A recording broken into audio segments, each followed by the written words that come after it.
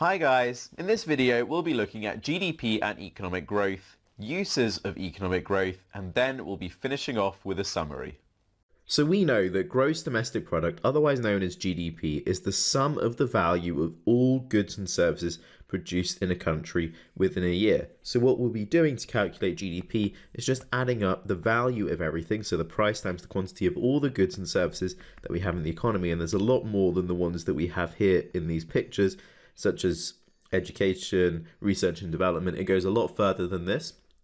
And let's imagine that a country can produce more goods and services after one year. So we've gone from producing this many goods to now doubling the number of goods that we can produce. So now we have a significantly larger amount of goods and services that the economy is now producing.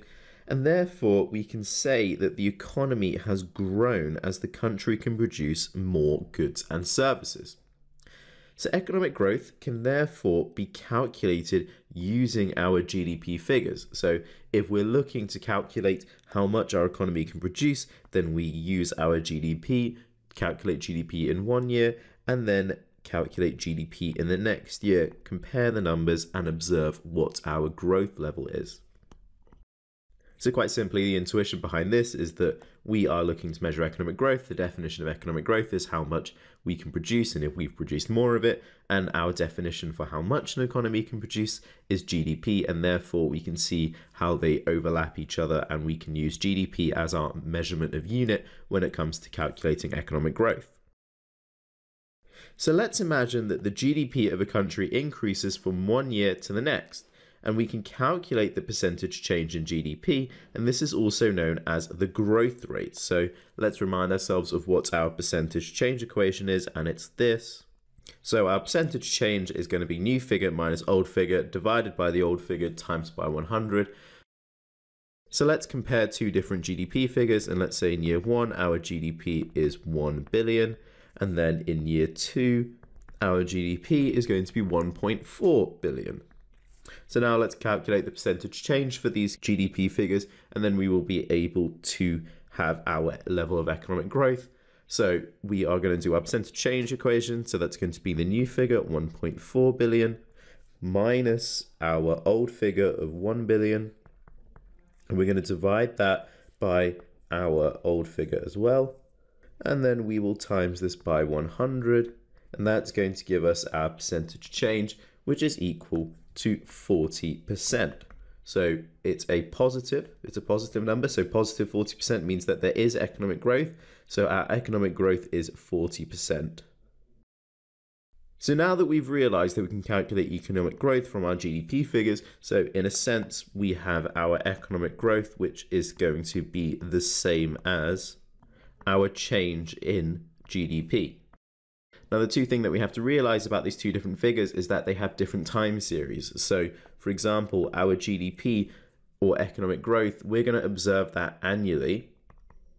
So, the economic growth figure is going to be a snapshot in time. However, when we're looking at change in GDP, that's going to be a figure over time. So, we're going to be looking at that figure in a year.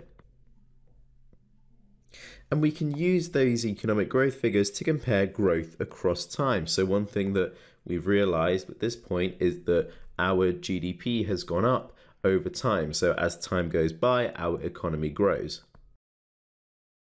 So, for example, we can find the growth rate of the UK between 2000 and 2001. So, let's say that our GDP in 2000 is 1 trillion, and then our GDP in 2001 is 1.1 trillion. So now let's calculate the percentage change of this. So it's new figure of 1.1 trillion minus our old figure, which is 1 trillion, divided by our old figure of 1 trillion times by 100. And therefore, that's going to be equal to 10%. So that figure is our growth rate from 2000 to 2001. So we can see that it's from year to year for our growth rate. And therefore, we would conclude that our GDP increase is 10% in the UK. which translates to a economy or the UK economy growing by 10%. So we have produced 10% more goods and services, therefore the economy has grown by that measure as well. So in effect, what this growth rate is showing us is just simply saying how much the economy has grown over time, specifically that time being from 2000 to 2001. But we could look at the economic growth rate from 2000 to 2002, and that's shown us our economic growth rate in that time series. So we can actually use our economic growth rates for countries in the same period. So we can calculate the economic growth rate in 2012 of the UK, and let's say it's 1.5%, and then in the USA, we can compare it in the same year in 2012, and let's say it's 2.5%. So therefore, we are able to look at the growth in the UK and the growth in the USA at the same time. This means that we can also compare the economic growth in different countries. So in the UK, when it was 1.5%, it is lower than our economic growth rate in the USA of 2.5%. And making these direct comparisons can be quite useful. So, our economic growth can help economists understand both the growth of a country over time and the growth of a country compared to other countries. Now, economists that are interested in economic growth, they're going to be particularly interested in this comparison between two countries, especially when they're looking at investment across different countries. Hey guys, I hope you enjoyed the video, and if you're looking for an amazing A-level economics resource, join me today in my series of engaging bite-sized video tutorials. Just click the SnapRevise smiley face, and together, let's make A-level economics a walk in the park.